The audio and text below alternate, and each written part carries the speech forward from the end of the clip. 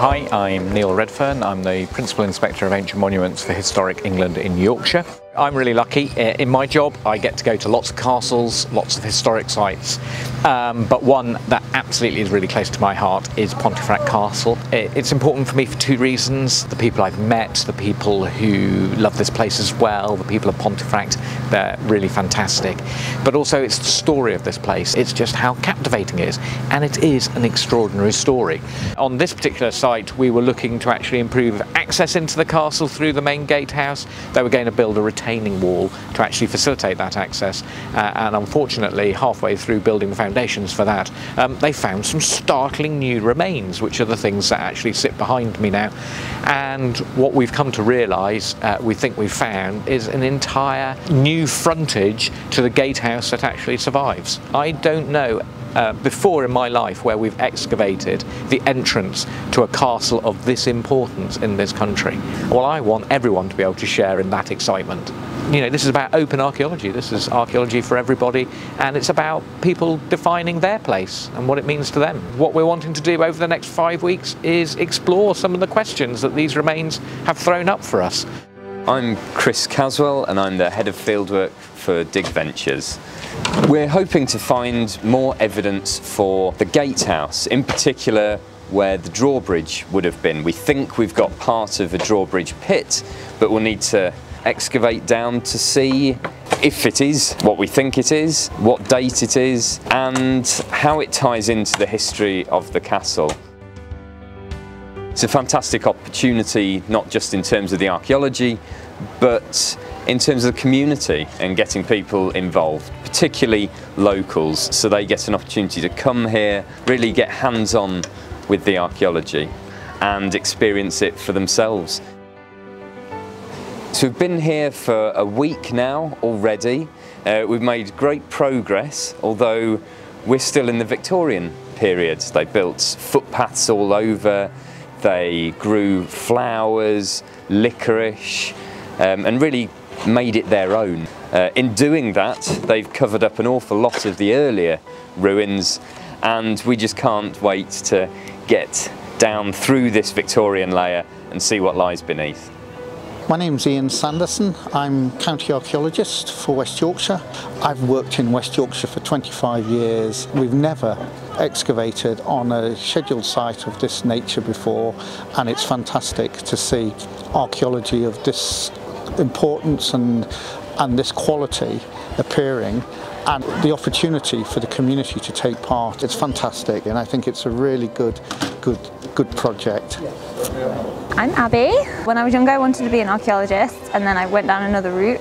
I didn't know you could actually do archaeology days until I started to look for it. So I just thought it was really nice that we could have a go even though we had no experience. Hi, I'm Sarah. I'm working here as a volunteer. It's not every day you get a chance to work at your local castle and it's just an excellent opportunity to find out what's happening in a place like this that I know reasonably well. Yeah, it's great fun and it, it helps out the archaeologists but we, we learn a lot as well.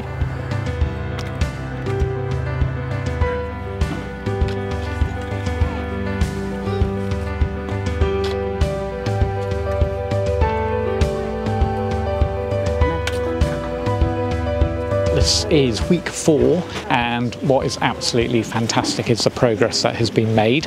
Um, so we really are now in what we think is a drawbridge pit. Four weeks ago, when we actually started, um, there was uh, only the very top stones of the drawbridge pit visible, and we're now well down below two metres in depth. These walls behind us hold a really fascinating little secret, and that is masons' marks. Now, the masons, when they would build a structure like this in the medieval period, were paid on piecework by the number of stones they effectively put in place or dressed.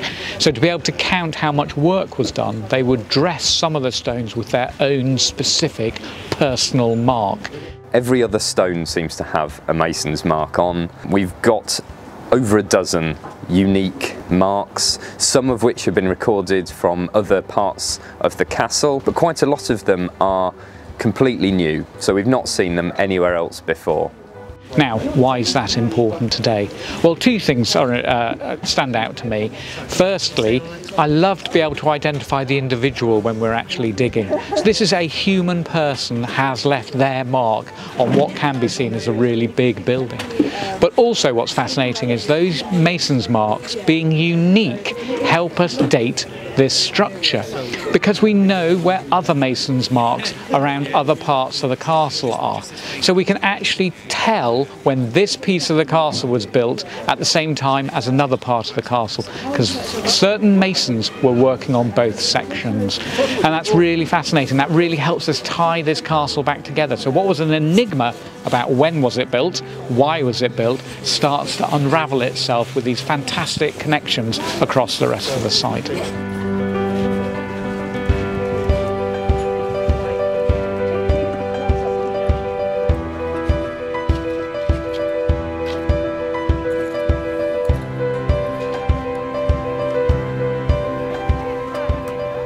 Coming to the end of the dig now. We've been here for a month. It's not just the archaeology that's been exciting, it's been really exciting to be able to involve members of the local community. We've had teams of people working on site, helping us to dig down deeper into the history of Pontefract Castle Gatehouse.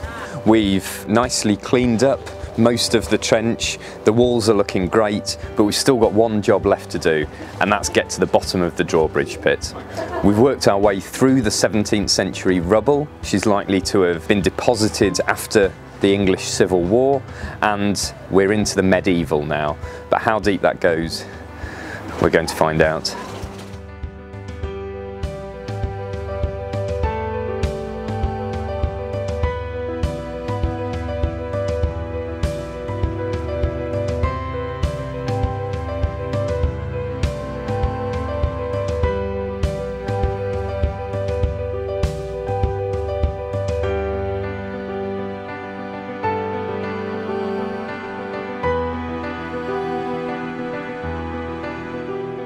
So it's really great to be here um, at Pontefract Castle today. I've, I've not been here for nearly um, nine months.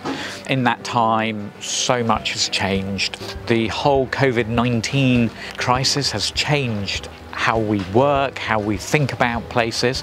When I last saw it, we'd excavated about half of it, and I just never imagined the stone walls, the dressed stone walls, would continue going down to the depth that we've actually seen them. So to see Chris and his team hand digging it using a hand winch, not dissimilar to what would have been there when they actually made it, is absolutely amazing. We've not seen the bottom of this drawbridge pit probably since about 100 years after its construction. That's when it started silting up and started being hidden from view. You know, we've just got these kind of small parts of the curtain wall, a bit of the gatehouse tower left now. There's not actually really any substantial upstanding remains left. So it's been great to show them what's down here and most people just can't believe how old this is. We think it's 600 years old, but it looks like it was built just yesterday. As well as getting to the bottom of the drawbridge pit, which is obviously what we, we really wanted to do. We've also had several other successes while we've been out here, notably that with the community and the amount of engagement that we've had as we go along. Now things have been a little bit different the last three weeks because of COVID, but before we managed to involve many, many members of the local community. It was great to see people come out and experience it and hopefully we'll be able to share more in the future the concluding story about Pontefract Castle and, and, my experience is actually trying to find and unlock what the Key of the North actually means. That phrase was really reflective of the, the enormous power and influence the castle had over the north of England. You controlled Pontefract Castle, you controlled the keys, the access, effectively the ownership and management of the north of England. And I think what the drawbridge pit actually illustrates to me is it's the very keyhole to that story, that analogy. You control this drawbridge pit, the gate, you control the keyhole, the keys to Pontefract Castle.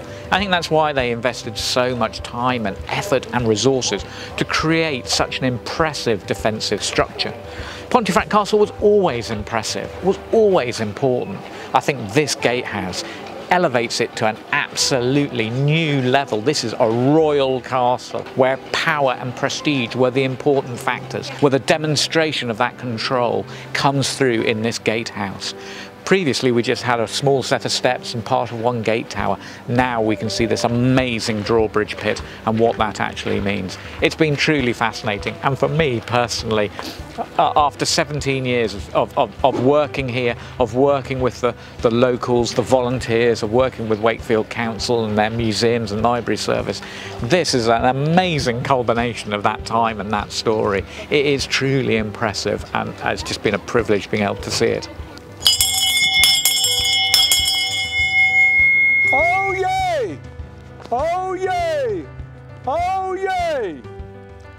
As town crier of Pontefract, as appointed by Pontefract Heritage Group, it gives me great pleasure to thank DigVentures for all their efforts during this visit. They have shown enthusiasm, dedication, professionalism and not forgetting their good humour. I thank you.